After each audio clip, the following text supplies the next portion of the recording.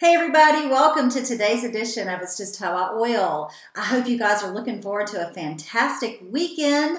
I know we've got some lots of fun stuff planned and I hope you get to enjoy some football or some leaf looking or just some great time together with family.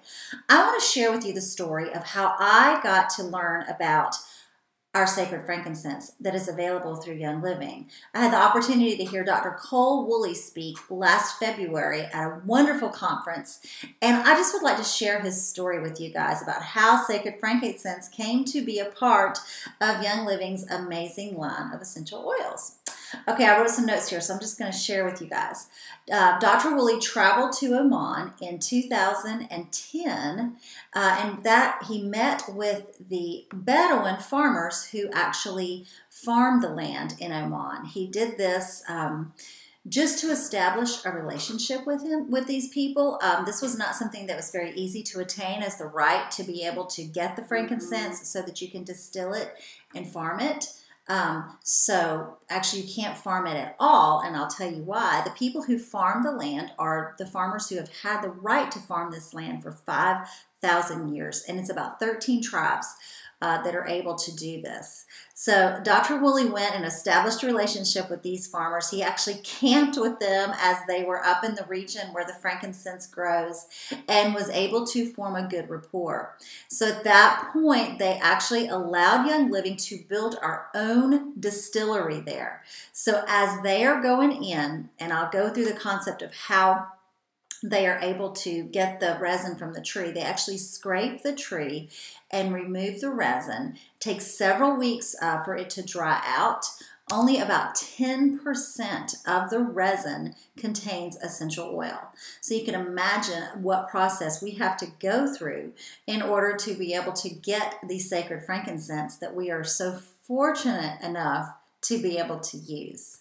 Um, he also was able to, um, oh, what else was I going to tell you guys? It was so cool.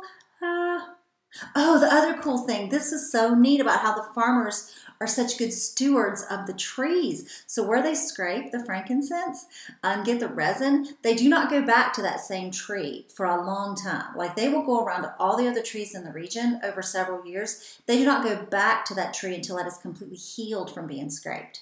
How amazing is that?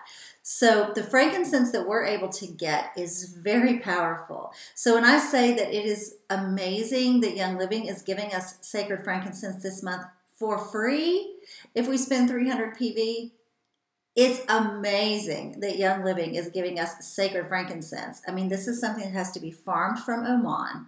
It is farmed by people who own the right to farm it no one ever outside of that region is ever going to be able to farm it. The fact that Young Living has such a good rapport with the government there and with the farmers is speaks of the quality of our company and the integrity and the amazingness of who we are as a company.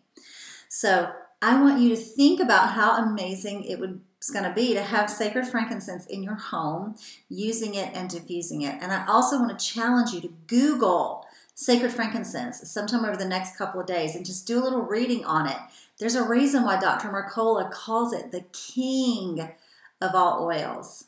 As I always say, if it's good enough for Jesus, it's obviously good enough for us. Did you know that sacred frankincense was part of the oil that was burned as incense in the temple in the Old Testament? Um, so you just really need to think and consider what sacred frankincense can do for you, and you're if you're able to bring it into your home over this next month, when you're able to bring it into your home. All right, guys, that's it. That's my story, my cool story of how I found out about how we at Young Living were able to obtain sacred frankincense that is not very easily obtainable by very many people. So until next time, I just pray that you are blessed. And I pray that in all things that you live in good abundance, that you receive it, and that you're happy, that you're healthy, that you're oily, and that you live free. Why? Because it's just how I oil. Get that frankincense, y'all. It's awesome.